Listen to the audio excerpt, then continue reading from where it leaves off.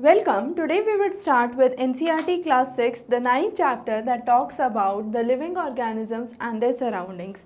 Now before we start with this chapter, let's have a brief recap of what we have studied in the last two chapters. So in the last two chapters, we have discussed about living organisms and non-living organisms. Under living organisms, we say living organisms are those which are biotic and the characteristics of living organisms we would understand in a while. In brief, we can say they uh, do movement, they respond to stimuli, they can uh, have the process of uh, breathing or respiration and growth is associated with living organisms. However, when we talk about non-living organism, we say those constitute the abiotic world and it includes air, water, temperature, rainfall. But all these abiotic factors assist the biotic factors for the growth. The second important uh, terms for this chapter that we would understand are firstly the idea of habitat and the next is adaptation. When we say Habitat, it's basically a living place or a dwelling place of any organism and adaptation, adaptation is basically uh, considering oneself or modifying the traits of oneself to adjust to the living environment. So, for different areas you have different kind of adaptations that are seen. For example, in a cold area you would have uh, conical trees. The basic reason for having a conical trees is very simple. You would have all the snow that would run down and the plant would not be affected because of the snow. The second important modification in a desert area is what we say or hear about as cactus as a plant with thorns. Now that's a general perspective about a cactus plant when we study. But here we have a cactus plant which has flowers on it. So we'll talk about cactus or the desert vegetation in a while. The next important adaptation is in the uh, aquatic region where you can see fishes which have streamlined body. In the last class we have talked about fishes and their streamlined body. We'll be discussing more about those in a while. So all these are different adaptation, adaptations that could be seen in a terrestrial organism or a aquatic surrounding. So for a terrestrial setting, we have let's say the mountain region, the desert region. For the aquatic, we have kind of streamlined bodies, those are seen. Then we have the casuarina trees that are seen along the coast. So all those are various adaptations that we see in. Now coming on to some of the general adaptations that we would talk about. So we'll start with the very first that is the desert. Now in the desert itself we'll start with the first that is cactus. Now as we said in cactus you have stem that is uh, modified and it's a kind of thick structure that you could see here. The next is leaves.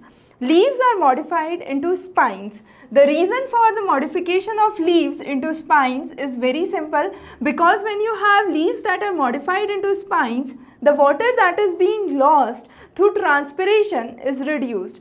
So the process of evaporation or transpiration and the water loss is reduced when you have spines because the surface area gets reduced. However, you might say in this plant which is Euphorbia milii, you would have leathery leaves that are seen. Now again when we see the leaves are leathery that means the leaves have a kind of waxy surface or a leathery surface that prevents the water uh, uh, the evaporation of water at the same rate and similarly the flowers that you would have here are much more leathery and waxy in nature. So all these adapta adaptations in the desert area help a plant to survive in a arid condition. These plants which survive in an arid condition are also known as succulents. So succulents are those plants which have thick stems and they can survive in arid and semi-arid conditions. So those are known as succulents. The next important modification that we would talk about today is the camels. Now under camel we would understand a very basic uh, phenomena with the help of just this diagram. First of all we have different type of camels that you see. This is a kind of single humped camel and then you have a double humped camel that we have here. So there are various camels that could be seen or the various species of camels that are seen. Now the first very interesting thing about the hump. Hump stores fat and not water. So that's one of the major confusions that students have. So hump is useful for storage of fat and not water. Then you have long legs. What's the benefit of having long legs? Because you would have a kind of dusty environment below and a lot of sand below. These long legs would have a kind of main body or the eyes or the face that would be uh, resistant to the lower dust that would be blowing in. Then again the eyes have long eyelashes that's again meant to prevent uh, sand going into the eyes. Similarly, you have a leathery mouth. The purpose of leathery mouth is to protect itself from the spines that are present on the various trees. Again, you have the kneecaps that are again leathery. That's the, that's the basic purpose for kneeling down. So those are the modifications that are seen on the body, in the body of camel in the desert area. Now, sorry we have talked about camels. The other modifications that you see uh, in a desert atmosphere is for the rats. So rats burrow the holes and they live in the holes. These burrowing of the holes provide a kind of cold environment and uh, the survival becomes much easier for these animals like rats, snakes and so on. The next is in the aquatic area you have fishes. In the last class we have specifically focused on the body structure of a fish. So when we talk about body structure of the fish we said since childhood you would have been drawing fish but a good question comes up why on both the ends of the fishes you have a kind of smaller body that is drawn as compared to the center body. The reason is to provide it a kind of streamlined shape which assists the process of swimming. Then you have fins on either ends. These fins help in balancing the body. The tail fin provides a kind of direction for uh, movement. Then you have scales on the body that prevents it or protects the body uh, against the water flow that could be seen there. So these are some of the modifications that are seen on the body of a fish. So we have a diagram of the fish to help you better understand this. So we already talked about how these features affect different uh, regions. Already we have talked about the desert environment, we have talked about the cactus and the various vegetation that could be seen in the desert atmosphere. The, th the stem as we said is covered with a waxy layer and here you have another diagram for cactus. Now this is what you have a common picture of when you hear about cactus and this is a kind of uh, succulent that we see. Now what happens here? Cactus usually have long deep roots. The idea is to take water from uh, deep, uh, deep inside the earth and that water could be taken for uh, longer durations despite you have a kind of arid atmosphere for a prolonged period.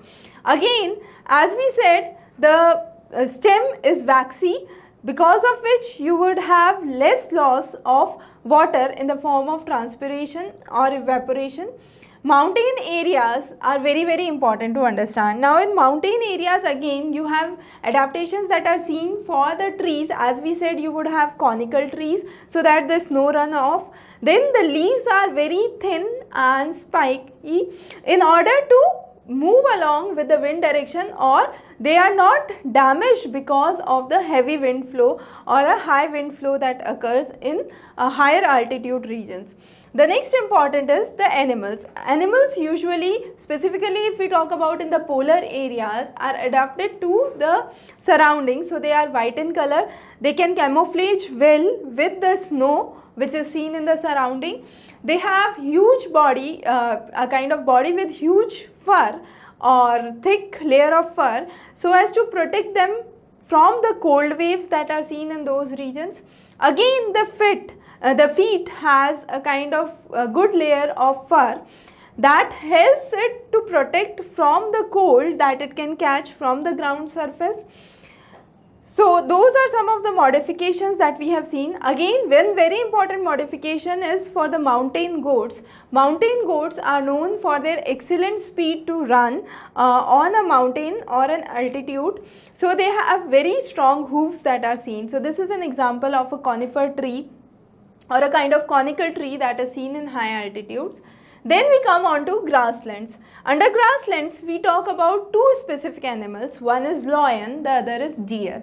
So lion basically is a predator and it hunts for its prey. Now the prey for the lion would be deer. The eye structure for the two would be very different.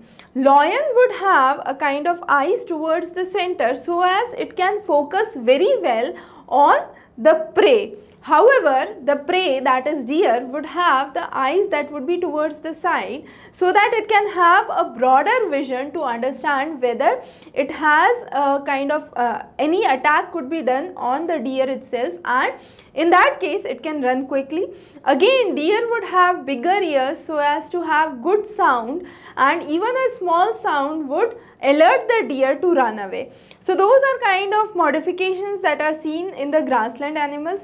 Deer has strong teeth to chew the hard plants and it can also uh, have a very good sensation of a incoming predator that's for example a lion by its big tree uh, big ears that are seen and again the modifications for the eyes that are seen so that it can have a broader vision as compared to lion. So lion need to have much focused vision in a dryland atmosphere.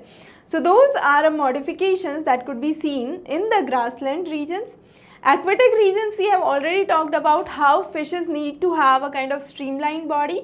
But besides fishes, let's talk about octopus, squids. So these are seen in very deep areas. So when they are seen in very deep areas, they do not have a, a streamlined body. But when it is required to swim in water, they convert their body or they basically move their body in a kind of streamlined fashion and they also use gills for the purpose of respiration. So, most of the aquatic animals which are basically uh, fishes as you will see in the higher classes in your animal kingdom, you would understand that gills is a prerequisite for respiration.